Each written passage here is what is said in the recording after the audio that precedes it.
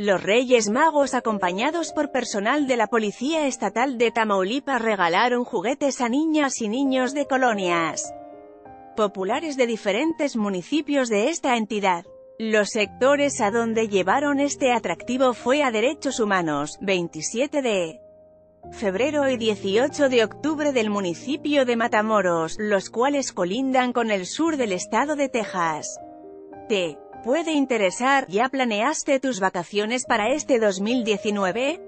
Estos serán los días festivos. Elementos de seguridad estatal también repartieron juguetes a niños y niñas que viven en las colonias Luis Echeverría, Betel, Tomás Yarrington y en los ejidos Mariposas y Maguiras, Carbonera, Caballeros, Miguel Hidalgo y Rancho Nuevo en el municipio de Ciudad Victoria.